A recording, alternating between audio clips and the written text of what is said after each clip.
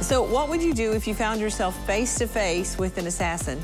Virginia Prodan shares about growing up under an oppressive government, being an advocate for freedom and justice, and how that put her life in danger. If you're enjoying Table Talk, be sure to like, comment, subscribe. Remember to click that notification bell to stay up to date on all of our latest posts.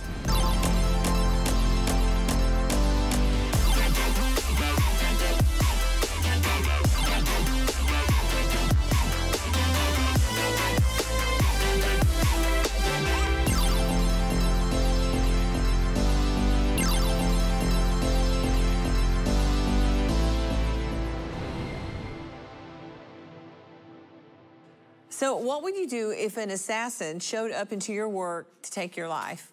Well, this is exactly what happened to today's guest, and she's here to tell us about what happened next. And I promise you, you don't want to miss it, so get your cup of tea, cup of coffee, whatever. Sit down. You want to hear this whole story. But before we get to that, joining me around the table is De Havilland Ford. How are you? I am amazing. And you know, I'm so grateful for Daystar and Joni Table Talk with the conversations you bring to the oh, table. So it's an honor to be here today. I just want to know, has anybody seen you on Joni Table Talk? Yes, they are. and they're messaging me about it. Like, wow, you're on Joni, but love it. That's They're awesome. We're just honored to have Yes, you. We love you. Anna Kendall, how are you? Well, I was in San Antonio recently and I was stopped to say, I see you on Joni's Table Oh, Talk. And I good. loved That's the show. It was so neat. That's great. Uh, And how are you, Rachel Lamb Brown? I am so excited because I love hearing stories. and your dad always wanted you to be a lawyer, so we have a lawyer at the table. and I've dreamed that she was one. Yes, and my I, I was a history minor in school, and my history professor always thought that I would be a great human rights lawyer, and Yes. so You're going to love this story. Cindy Murdoch, how are you? Doing good, thank you. We love testimonies. Oh my goodness. I never get tired of hearing God's stories because that's what testimonies are. Exactly, and it encourages us of the presence of God in our life, what God can do. That's so good. A fierce defender of freedom and human rights, Virginia Prodan dared to stand up against injustice at the hands of a communist regime, and she would face unimaginable persecution in an attempt to silence her. Take a look.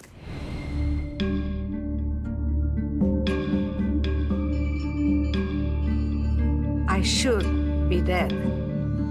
I was beaten, tortured.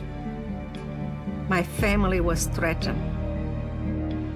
All for defending Christ and standing up to an evil communist regime.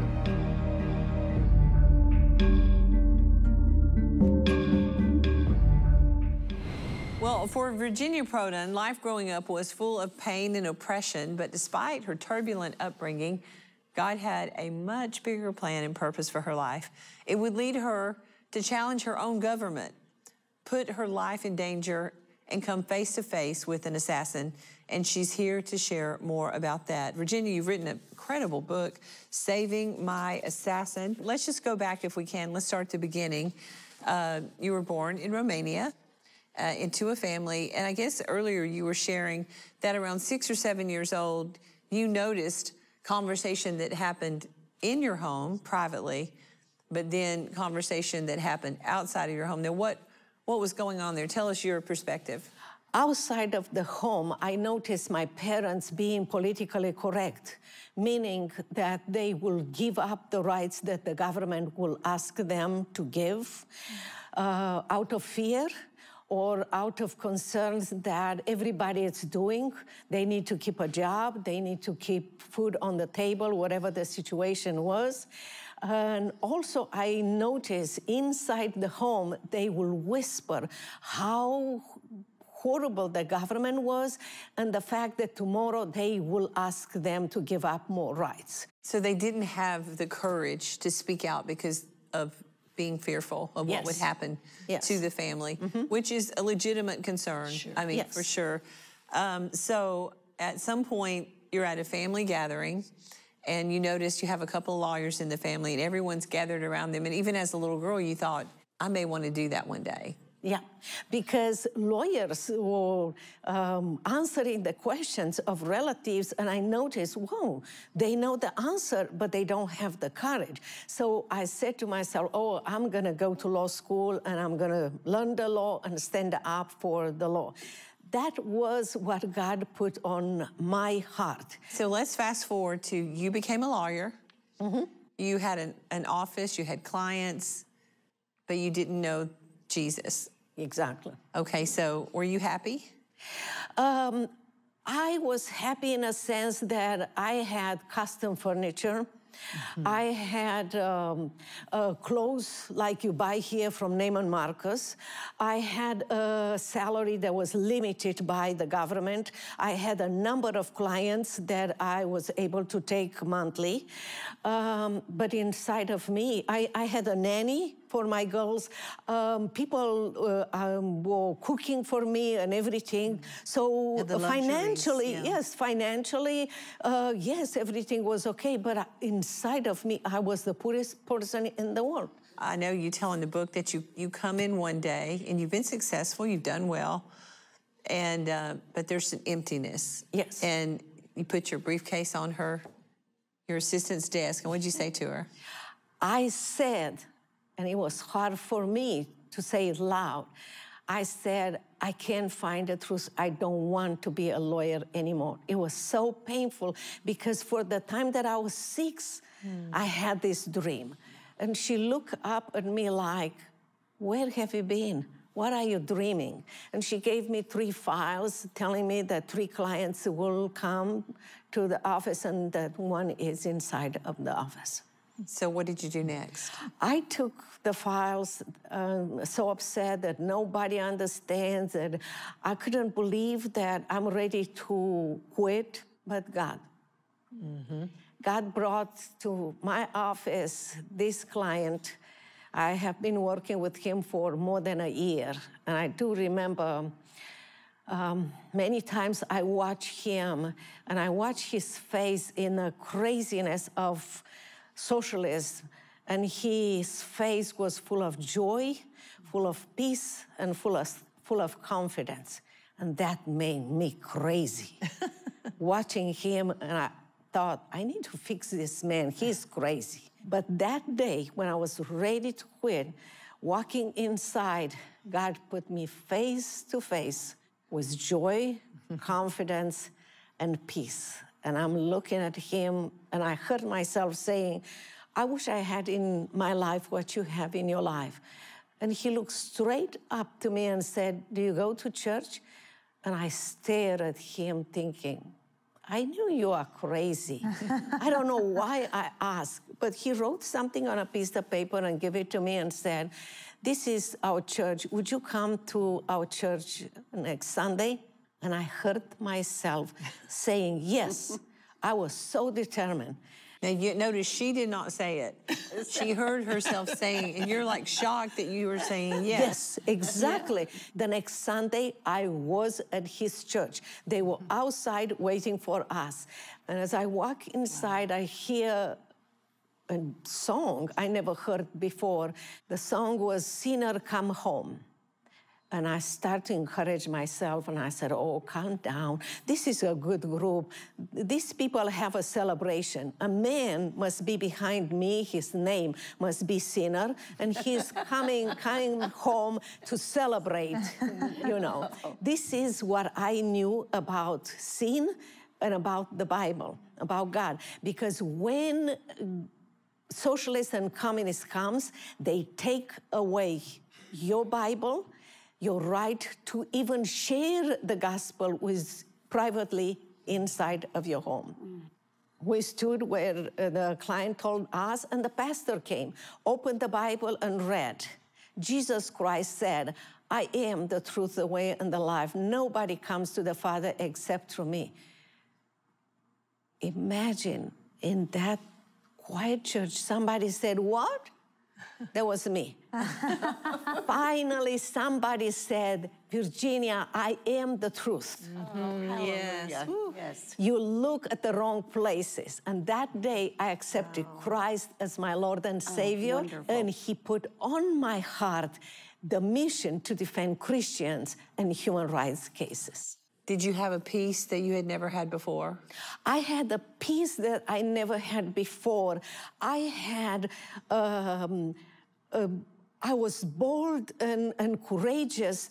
Uh, I realized that, and I believe it's the reason why somebody else was obedient in this process, and that was my church. Mm-hmm. My church, for six months, they trained me on who I am in Christ yes. and who God is. Yes. And that was absolutely necessary and absolutely amazing yes. in my walk with Christ and what He wanted me to do. Yes. So then you begin to defend people that were opposed to the government, who were opposed to socialism. And um, did anybody notice? Oh, the government noticed that. At that time, uh, dictator Ceausescu wanted the most favored national status from um, America. And attached to that, President Ronald Reagan and Congress gave him the most favored national status, attached with respecting human rights and Christian rights and allowing Bibles from America to come and missionaries from America to come. But he didn't publish that. Nobody knew that. We didn't learn in law school about that. But he agreed to that. He agreed yeah. to that. And also, he took the money from the most favored national status to build a palace and to build a lavish life and keep us starving to that okay, you begin to do this new work that you feel like God has called you to. You know it's dangerous. Mm-hmm. And actually, the government is keeping a record yes. of what you're doing almost daily, yes. where you are, what you're saying. Did they ever interrogate you or arrest you during that time? Yes. Um, first of all, as a lawyer, you, you ask yourself, I want to uh, defend these uh, clients. Where is the law? So I pray and I said, Lord, help me to find the law that will defend these Christians.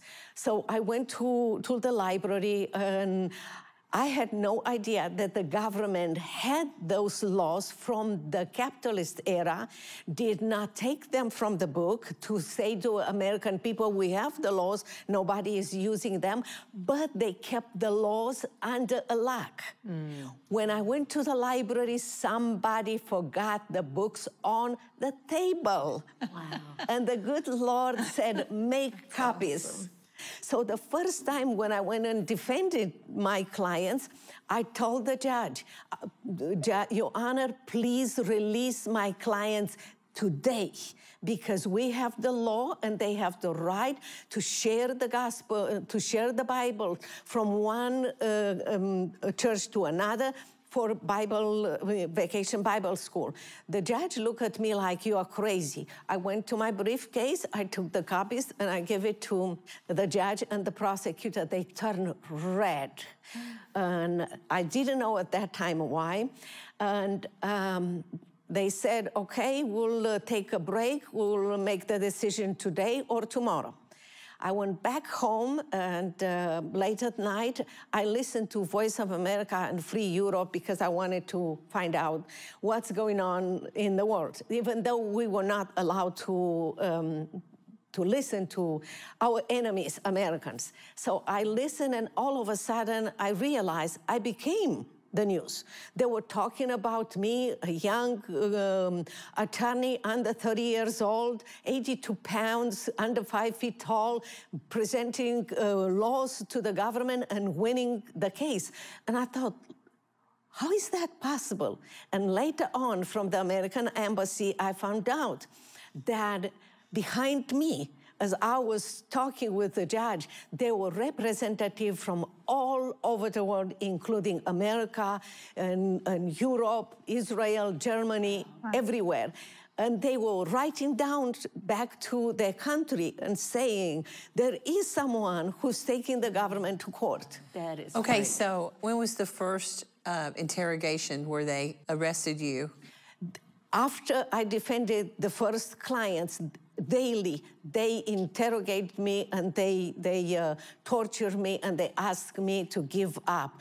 They said that when they accepted me at law school, they consider me an elite of the society because uh, people that are accepted by the government in uh, Romania at that time will become lawyers, judges, prosecutor, ambassador, and they said, as a lawyer, you you're supposed to protect the government against the dissidents, not the other way around. Mm -hmm. And I said, nobody told me in law school, and I know a lawyer speaks for those who cannot speak for themselves. So that, that was daily.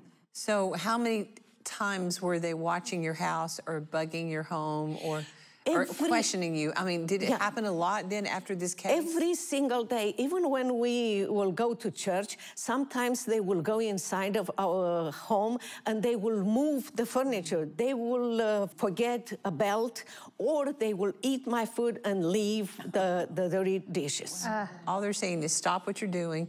You're now an enemy of the mm -hmm. government and we are going to, this will keep on until you stop, but you didn't stop.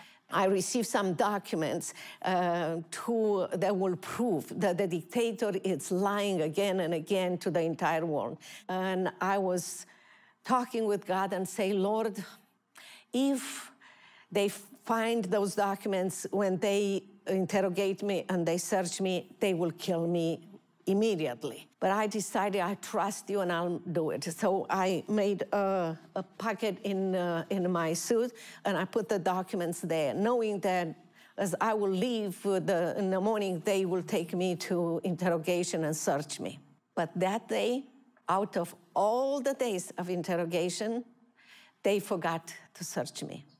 And I was able to give the documents to the American embassy and later on, President Ronald Reagan got them and decided to take the most favored nation status from dictator. And of course, the dictator was very furious, and I believe 99.9% he believed that I was the one providing that. So tell us about the day at your office that the assassin came. So he sent my new client close to five o'clock. So my uh, assistant introduced him to uh, my office, and she said goodbye. I, I need to go and pick up my kids. And you think this is a new client? Yes, I'm thinking it's a new mm -hmm. client. It's, it's just normal. Lots of clients will come this way. He was six ten feet tall.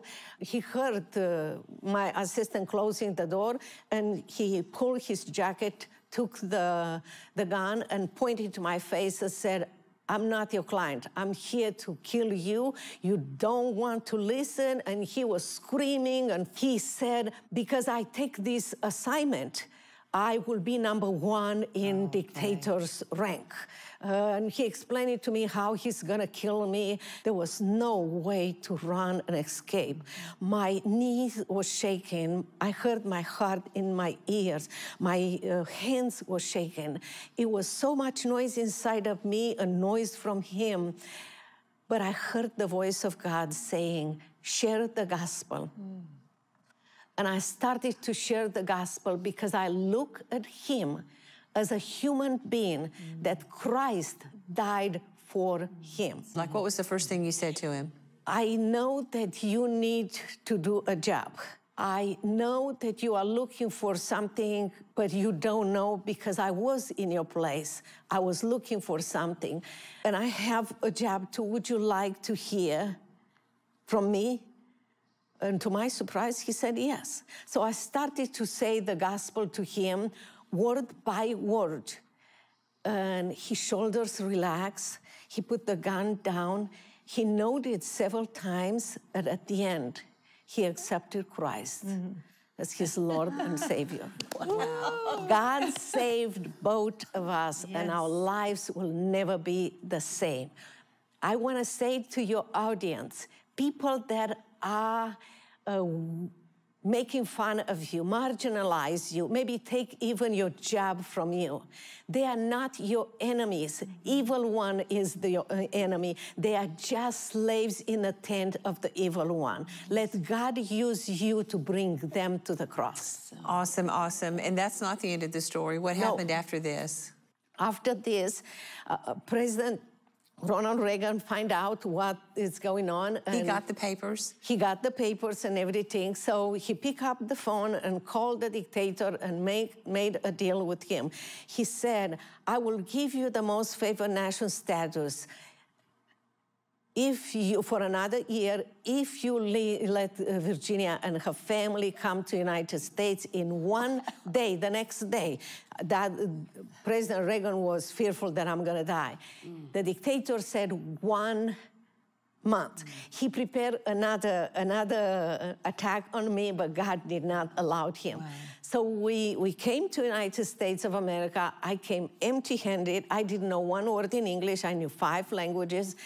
I had two girls under 10 years old. I was pregnant with my son. I came with my uh, husband, who later on um, um, just left us, and I was left in a foreign country uh, with no money, no friends, but with God to raise three kids. You spoke five languages, but one of them was not English. So here you are learning English. English. Yes. Yes. And I, uh, I learned English not as fast as my kids. And I went to law school, SMU Law School. I opened my law firm. I, uh, Tyndale published my book. I go and speak around the world. And I raised three kids. My first daughter graduated from SMU like me. My second daughter from Harvard Law School. And my son from United States Air Force Academy. What an incredible story. And that's still not the end of the story. No, that's not. So one day I am in my office in Dallas, Texas, and a new client comes and he um, presented his case. He has a, had a very good case. He finished the presentation and he looked at me very frustrated. And he said, Virginia, don't you recognize me? And I was thinking, who is this man? and he showed me his Securitate ID. And I realized I was in face to face with my assassin. And for a few minutes, I relived my moment back in Romania. Oh, And then we share uh, uh, what God is doing in his life and what God is doing in my life. And I shared that I am writing my memoir.